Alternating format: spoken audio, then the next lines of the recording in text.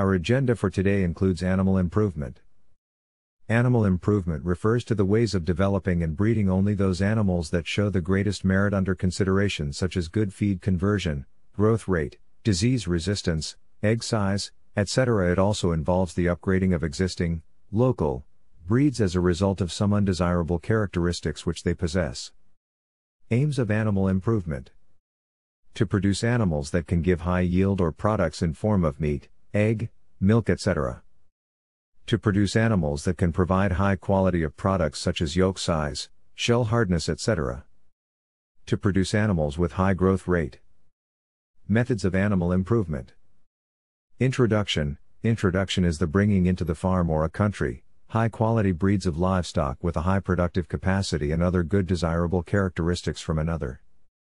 Breeding Breeding involves the development of animals by transferring inherited qualities from parents to offspring. This is achieved through mating. Types of breeding. Inbreeding, this involves the mating of more closely related animals than the average of the population from which they come, for example, the mating of father to daughter, son to mother, or brother to sister.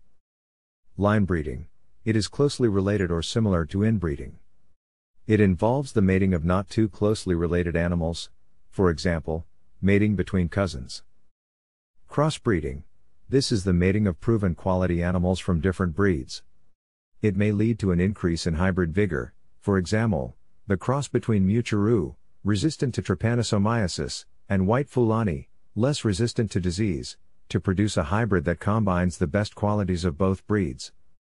Outbreeding, this is the mating of unrelated individual animals within the same breed. Outbreeding is the opposite of inbreeding. It produces offspring with greater vigor and productivity. Thanks for watching. See you in the next video.